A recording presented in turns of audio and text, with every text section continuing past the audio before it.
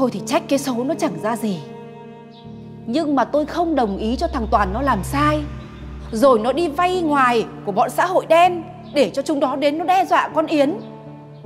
Ông bảo ngày hôm nay nó thế thôi Thế ngày mai nó thế nào? Tôi có mỗi một mụn con gái.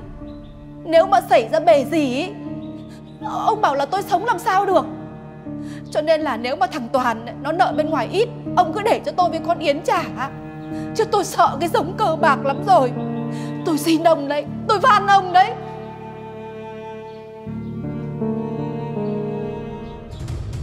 Anh nói là anh sẽ tự thu xếp để trả nợ. Vâng. Con sẽ tự thu xếp theo cách của mình. Cách của anh là để bọn giang hồ đến tận nơi đe dọa vợ anh à? Cách của anh là để cho mẹ vợ anh sang tận đây lạy lục van xin Tha cho mẹ con bà ấy à? Bố nói sao ạ Tôi không còn lời nào để nói với anh nữa cả. Anh định làm gì? Định cãi chửi nhau à? Sắn tay áo lên lao vào đánh nhau như lũ côn đồ ấy à?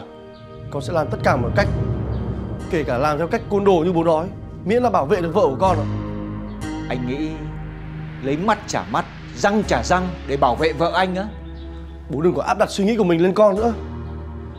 Bố hãy để con tự chịu trách nhiệm với cuộc sống của mình đi ạ. Nếu từ trước đến nay anh làm được những điều anh nói.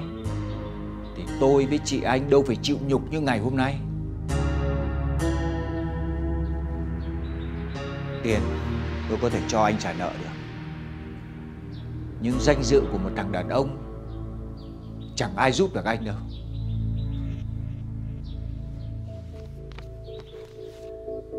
Cuốn sổ tiết kiệm này Là số tiền tôi dành dụm để dưỡng già. Anh cầm lấy mà trả cho người ta. Cầm lấy. Cầm lấy mà trả cho người ta đi.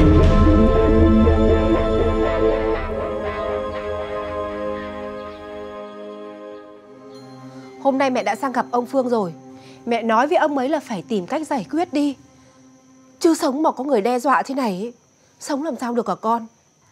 Mẹ làm cái gì thế hả mẹ Bố chồng con thì có liên quan gì đến chuyện này? Mà mẹ nói ra cũng chẳng giải quyết được việc gì cả. Chỉ khiến bố chồng con nghĩ ngợi thêm thôi. Sao lại không liên quan? Ông ấy là bố của thằng Toàn. Ông ấy không lo cho nó Không trả nợ cho nó thì ai trả? Nhưng mà anh Toàn bao nhiêu tuổi rồi hả mẹ? Anh ấy phải có trách nhiệm với chính cuộc sống của anh ấy Chứ không phải là bố chồng con. Mẹ làm như thế con không đồng tình một chút nào cả. Mẹ cũng là lo lắng cho con thôi Thế bây giờ mẹ không sang gặp ông ý Để nói ông ấy tìm cách giải quyết. Lỡ con xảy ra việc gì Thì mẹ sống làm sao? Con nghĩ cho bố chồng con Thì con cũng phải nghĩ cho mẹ chứ. Con xin lỗi Nhưng mà mọi chuyện xảy ra dồn dập quá. Bố chồng con lại bị cao huyết áp nữa. Con sợ ông không chịu nổi mất. Kể ra thì mẹ cũng hơi vội vàng Nhưng mà trước sau gì Ông ấy chả phải đối mặt với việc ấy. Bây giờ bọn xã hội đen nó tìm đến con nhá. Sau đấy nó sẽ đến tìm gặp bố con. Lúc đấy lại chả sốc hơn đấy chứ. Cái Vân hay thằng Tú đưa con về Mẹ đều không phản đối. Bởi vì đó là đảm bảo sự an toàn cho con. Vậy mẹ muốn hỏi gì ạ? Con định như nào với thằng Toàn Quay về với nó hay là dứt điểm?